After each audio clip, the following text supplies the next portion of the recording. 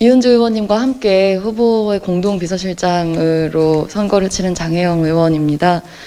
어, 정의당답게 끝까지 소신 있게 당당하게 이번 선거를 치를 수 있게 해주신 우리 사랑하는 당원님들 또 당직자 여러분 지도부와 의원님들 그리고 무엇보다도 어, 정말 멈추고 싶었던 순간에도 다시 결연하게 일어서서 끝까지 정말 멋진 승부 치러주신 우리 후보님께 진심으로 감사의 인사를 드립니다.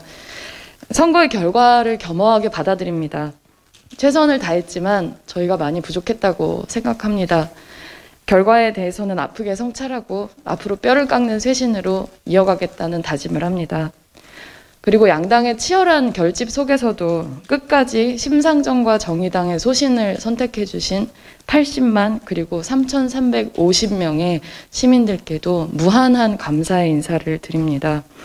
윤석열 당선자의 신승은 이준석 씨의 반여성 극우 선동 정치의 파산 선고라고 생각합니다.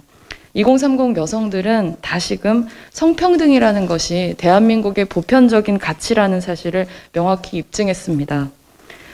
윤석열 당선자께 극단적인 대결 정치, 낡은 보복 정치, 그리고 국민들을 갈라치는 분열 정치에 단호하게 결별을 선언하시고 절제와 통합의 정치를 보여주실 것을 간곡하게 요청드리는 바입니다.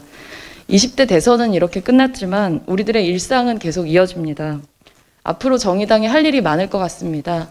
오늘도 내일도 시민들의 존엄하고 평등한 나라를 위해서 매진하겠습니다. 감사합니다.